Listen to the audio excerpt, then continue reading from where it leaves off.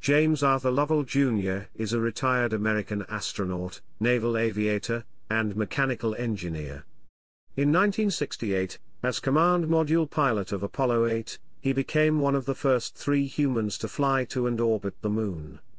He then commanded the 1970 Apollo 13 lunar mission which, after a critical failure en route, circled around the Moon and returned safely to Earth through the efforts of the crew and mission control.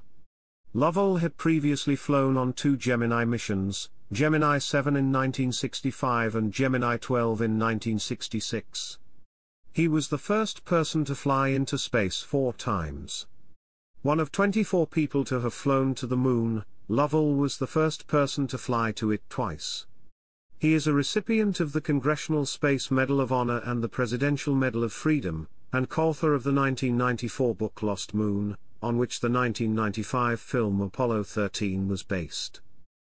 Chapter 1 Early Life Born in 1928 in Cleveland, Ohio, James Lovell was the only child of his mother Blanche, who was of Czech descent, and his father James, Sr., an Ontario, Canada-born coal furnace salesman, who died in a car accident in 1933. For about two years, Lovell and his mother lived with a relative in Terre Haute, Indiana. After relocating with his mother to Milwaukee, Wisconsin, he graduated from Juneau High School. A member of the Boy Scouts during his childhood, Lovell eventually achieved Eagle Scout, the organization's highest level. Lovell became interested in rocketry and built flying models as a boy. After graduating from high school, he attended the University of Wisconsin-Madison for two years under the Flying Midshipman program from 1946 to 1948.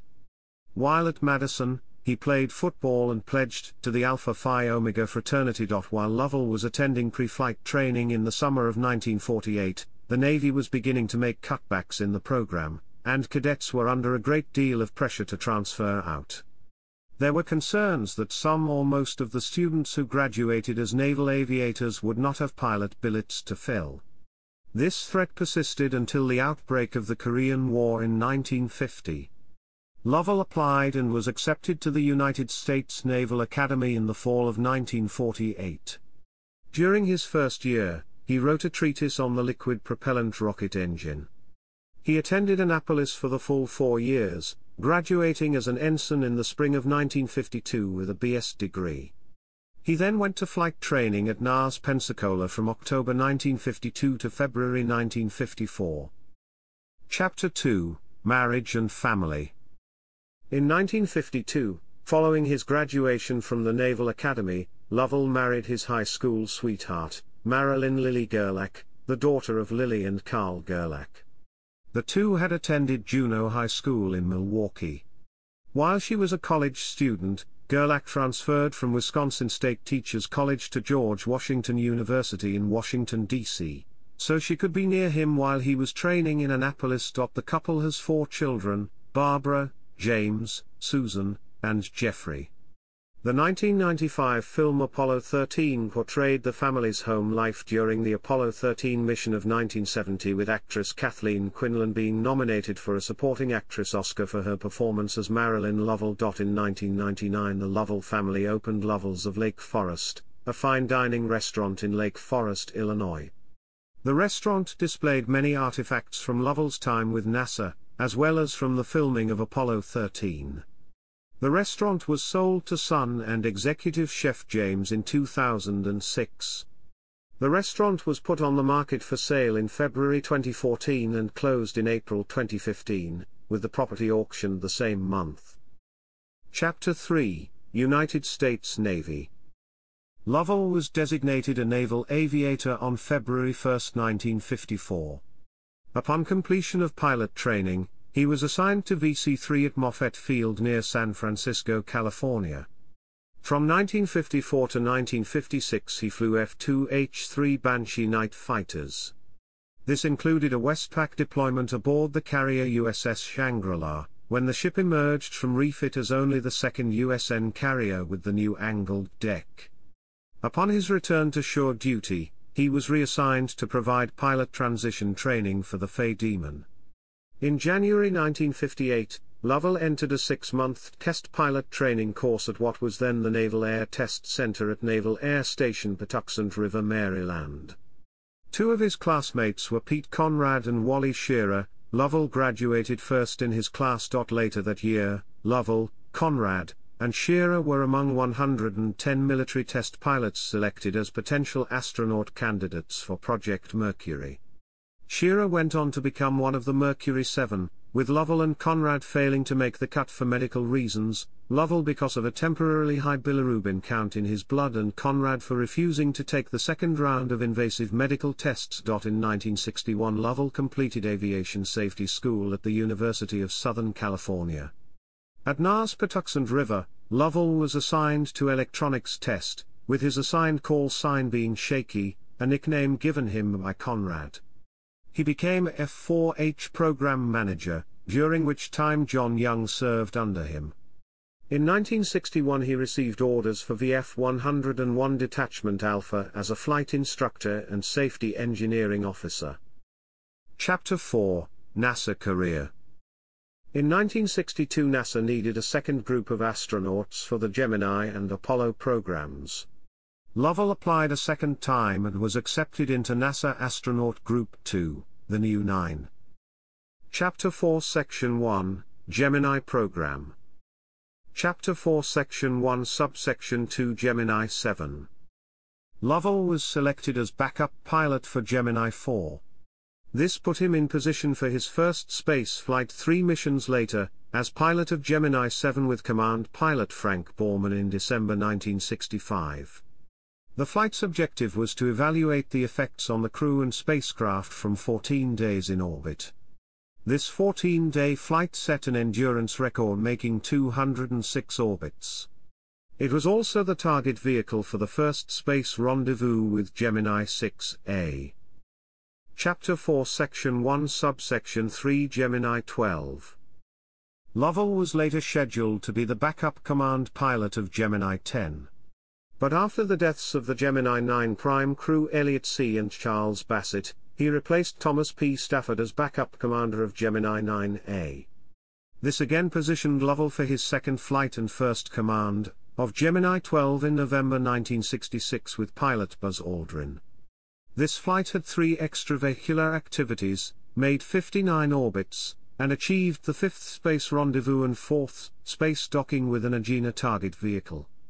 This mission was successful because it proved that humans can work effectively outside the spacecraft, paved the way for the Apollo missions, and helped reach the goal of getting man on the moon by the end of the decade. Chapter 4 Section 2 Apollo Program Chapter 4 Section 2 Subsection 2 Apollo 8 Lovell was originally chosen as command module pilot on the backup crew for Apollo 9 along with Neil Armstrong as commander and Buzz Aldrin as lunar module pilot. Apollo 9 was planned as a high-apogee Earth orbital test of the lunar module. Lovell later replaced Michael Collins as CMP on the Apollo 9 prime crew when Collins needed to have surgery for a bone spur on his spine. This reunited Lovell with his Gemini 7 commander Frank Borman, and LM pilot William Anders. Construction delays of the first crewed LM prevented it from being ready in time to fly on Apollo 8, planned as a low Earth orbit test. It was decided to swap the Apollo 8 and Apollo 9 prime and backup crews in the flight schedule so that the crew trained for the low orbit test could fly it as Apollo 9, when the LM would be ready. A lunar orbital flight, now Apollo 8 replaced the original Apollo 9 medium Earth orbit test. Borman, Lovell and Anders were launched on December 21, 1968, becoming the first men to travel to the moon. As CM pilot, Lovell served as the navigator, using the spacecraft's built-in sextant to determine its position by measuring star positions. This information was then used to calculate required mid-course corrections. The craft entered lunar orbit on Christmas Eve and made a total of 10 orbits, most of them circular at an altitude of approximately 70 miles for a total of 20 hours. They broadcast black and white television pictures of the lunar surface back to Earth. Lovell took his turn with Borman and Anders in reading a passage from the biblical creation story in the book of Genesis. They began their return to Earth on Christmas Day with a rocket burn made on the moon's far side, out of radio contact with Earth. When contact was re-established, Lovell was the first to announce the good news, please be informed, there is a Santa Claus. The crew splashed down safely on Earth on December 27. Chapter 4 Section 2 Subsection 3 Apollo 13 Lovell was backup commander of Apollo 11, and was scheduled to command Apollo 14. Instead, he and his crew swapped missions with the crew of Apollo 13, as it was felt the commander of the other crew, Alan Shepard, needed more time to train after having been grounded for a long period by an ear problem. Lovell lifted off aboard Apollo 13 on April 11, 1970, with CM pilot Jack Swigert and LM pilot Fred Haise. He and Haise were to land on the moon. During a routine cryogenic oxygen tank stir in transit to the moon, a fire started inside an oxygen tank. The most probable cause determined by NASA was damaged electrical insulation on wiring that created a spark that started the fire. Liquid oxygen rapidly turned into a high-pressure gas, which burst the tank and caused the leak of a second oxygen tank. In just over two hours, all onboard oxygen was lost, disabling the hydrogen fuel cells that provided electrical power to the command-slash-service module Odyssey. This required an immediate abort of the moon landing mission, the sole objective now was to safely return the crew to Earth. Apollo 13 was the second mission not to use a free return trajectory, so that they could explore the western lunar regions. Using the Apollo lunar module as a lifeboat providing battery power, oxygen, and propulsion, Lovell and his crew re-established the free return trajectory that they had left, and swung around the moon to return home. Based on the flight controller's calculations made on Earth, Lovell had to adjust the course twice by manually controlling the lunar module's thrusters and engine.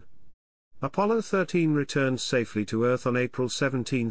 Lovell is one of only three men to travel to the Moon twice, but unlike John Young and Gene Cernan, he never walked on it.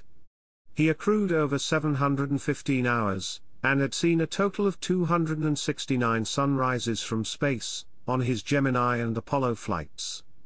This was a personal record that stood until the Skylab 3 mission in July through September 1973.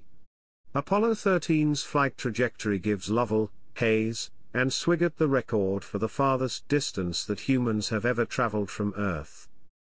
Chapter 5 Later Career Lovell retired from the Navy and the space program on March 1, 1973 and went to work at the Bay Houston Towing Company in Houston, Texas, becoming CEO in 1975.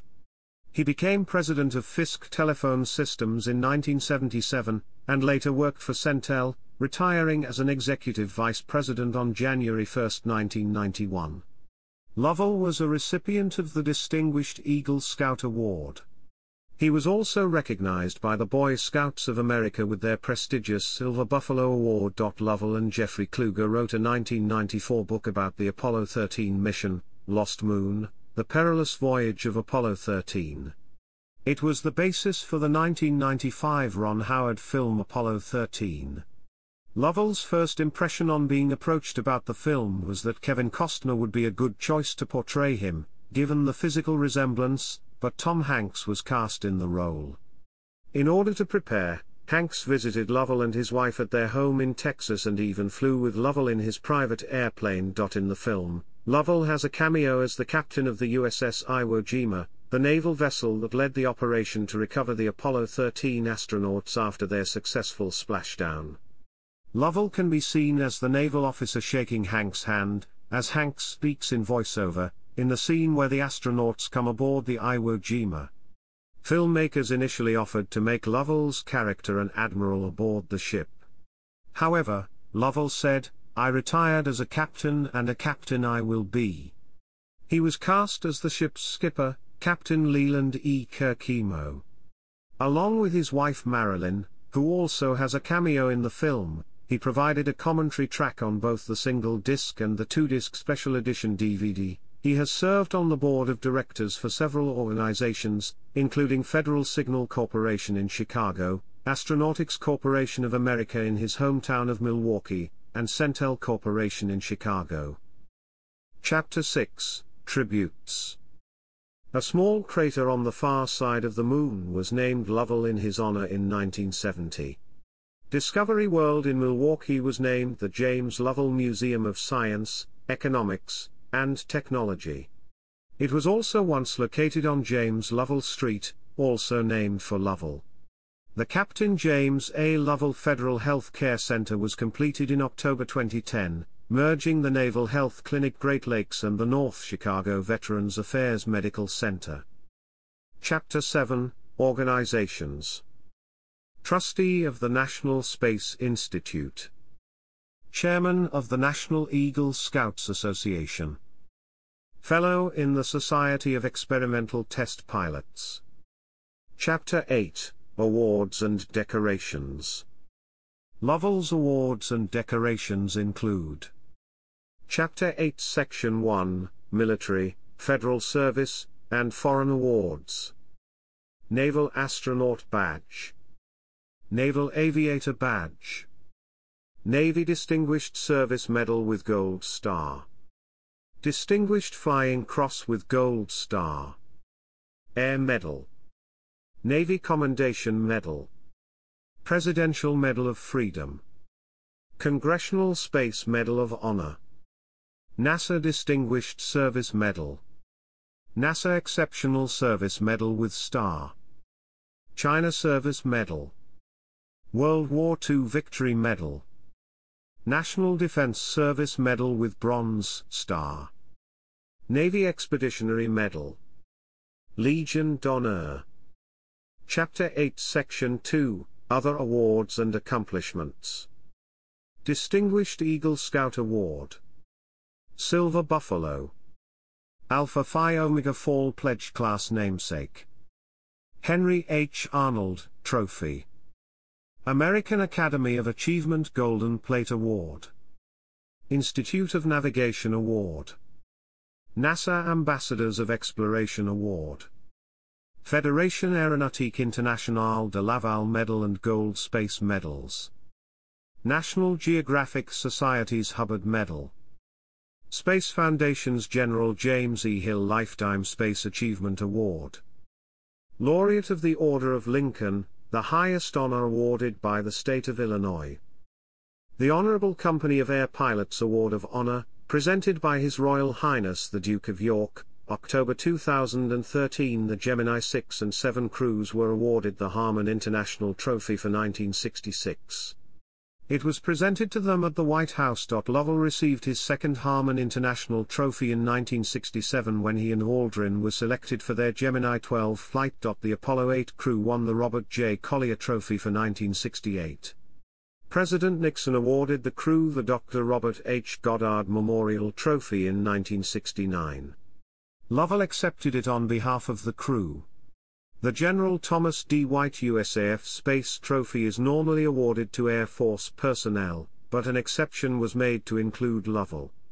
The Apollo 8 crew were awarded the 1968 trophy. Lovell was awarded his third Harmon International Trophy in 1969 for his role in the Apollo 8 mission. The crew was also awarded the American Institute of Aeronautics and Astronautics Haley Astronautics Award for 1970. The Apollo 7, 8, 9, and 10 crews were awarded the National Academy of Television Arts and Sciences Special Trustees Award for 1969. The Apollo 8 astronauts were named Time magazine Men of the Year in 1968. In 1982, Lovell was one of 10 Gemini astronauts inducted into the International Space Hall of Fame. Lovell, along with the other 12 Gemini astronauts, was inducted into the second U.S. Astronaut Hall of Fame class in 1993. At a parade attended by 500,000 people, Lovell was conferred Chicago's Medal of Merit. The Apollo 13 crew was awarded the City of New York Gold Medal, but Lovell had already received it for the Apollo 8 mission. In lieu of a second medal, the mayor gifted him a crystal paperweight that he invented for the occasion. He was also awarded the 1970 City of Houston Medal for Valor for the mission. He was awarded his second Haley Astronautics Award for his role on Apollo 13. Lovell was on the cover of Time magazine on January 3, 1969 and April 27, 1970. He was also on the cover of Life magazine on April 24, 1970. Lovell was a recipient of the University of Wisconsin's Distinguished Alumni Service Award in 1970. In his acceptance speech he emphasized the use of words over rock throwing to help attain political goals. He was awarded an honorary Doctor of Science degree at Western Michigan University's summer commencement exercises in 1970. He was also awarded an honorary Doctor of Laws degree at William Paterson College's commencement exercises in 1974. Chapter 9 In Popular Culture about a month after the return to Earth of Apollo 13, Lovell and his crewmates, Fred Haise and Jack Swigert, appeared on The Tonight Show with host Johnny Carson. In 1976, Lovell made a cameo appearance in the Nicolas Roeg movie The Man Who Fell to Earth. In 1995, actor Tom Hanks portrayed Lovell in the film Apollo 13, based on Lovell's 1994 book Lost Moon. Lovell makes a cameo in this movie, playing the captain of the USS Iwo Jima at the end of the film. In 1998, actor Tim Daly portrayed Lovell in portions of the HBO miniseries From the Earth to the Moon. In 2018, actor Pablo Schreiber portrayed Lovell in the film First Man.